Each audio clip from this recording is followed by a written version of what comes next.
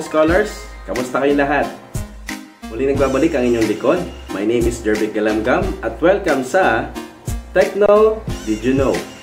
For today's topic, pag-usapan natin ngayon ang isa sa mga famous na unit ng Tecno Mobile. And one of the best smartphone in this price range which is... Yes, tama pa kayong lahat. Which is Tecno POBA 2. At paano itong nasabi isa sa pinaka-the best smartphone ng Tecno Mobile? Tara, pag-usapan natin ito. Tecno Povo 2 is one of the best smartphone in this price range at kilala siya sa kanyang performance pagdating sa gaming and also sa pagkakaroon ng malaking battery and screen. Ano ang kanyang key selling points at ang kanyang mga advantage? Tara, pag-usapan natin to. Did you know? Ng ating Tecno Povo 2 has at 3 key selling points. First, we have the 6.95-inch Full HD Plus display. The second one is the Helio G85 processor plus a 6 GB of RAM and also has a bigger battery which is the 7,000 milliampere battery. So, sobrang solid po ng ating POBA 2. Ngayon, ano po ba talaga ang mga advantages at ng features ng ating POBA 2? At paano natin gagamitin ang mga key selling points in selling area at paano maipaintindi o mai-highlight sa ating mga clients ito. Paano nga ba? Ang ating Tecno Poboto has a 6.95-inch Full HD Plus display. Isa ito sa pinakamalaking screen sa gantong segment ng mga smartphones. One of the biggest and the sharpest smartphone display sa ganitong price range. Lahat ng ginagawa mo sa smartphone ay may enjoy mo na, lalong-lalo na kung ikaw mahilig manood ng movies, maglaro ng games and also mag-browse sa social media. Dahil nakitang kita mo lahat ng gusto mong gawin dahil sa kanyang 6.95-inch Full HD Plus display. Mas may enjoy mo lalo siyang maggamit dahil sa kanyang magandang processor which is the Helio G85 processor plus the 6GB of RAM. Dahil itong processor na to is one of the advanced technology na nilabas ng company na MediaTek na built for our POBA 2 as a gaming phone. Kung ikaw ay mahilig maglaro ng games, mas ma-enjoy mo ito or mas mabilis siyang gamitin dahil sa magandang performance ng Helio G85 processor.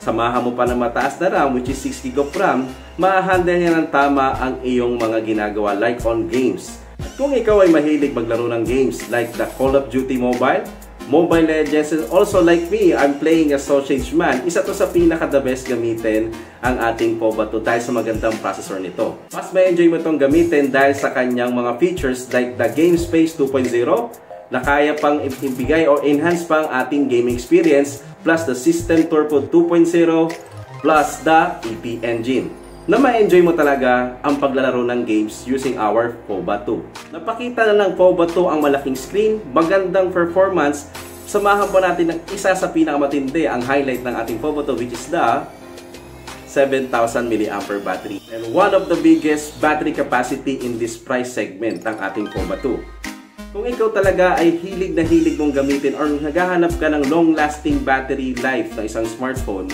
ma-enjoy mong gamitin talaga ang ating FOBA 2 dahil sa taas ng kanyang battery capacity. Mas matagal mo gamit to ang ating FOBA 2 kung talagang more on games ka, more on social media platforms, hindi mo na kailangan mag-charge ng 2 to 3 times dahil sa taas ng battery capacity nito. Sa presyong 7,990 pesos only, mai-experience mo sa Tecno FOBA 2 ang pang flagship na features pero sa murang halaga lamang. At yan ang kayang i-offer ng ating FOBA 2. Sobrang solido nitong phone na ito. Ayan, Techno Scholars. Na-highlight ko sa inyo or naipakita ko sa inyo ang mga features ng ating Techno FOBA 2. Sana nakatulong itong aking simple demonstration para makadagdag sa inyong ideas on how to sell our FOBA 2. Sana ipakita natin ito yung sobrang solid ng unit na ito dahil ang kayang-kaya niyang makipagsabayan sa lahat ng iba pang kilalang smartphones. And again, don't forget to subscribe in our YouTube channel which is a Techno University and also don't forget to like and follow our Facebook page. Pwede kayo mag-comment doon kung may mga gusto kong malaman or mag-message kayo sa ating page kung may mga gusto kayong idagdag sa, na idea dito sa ating video know.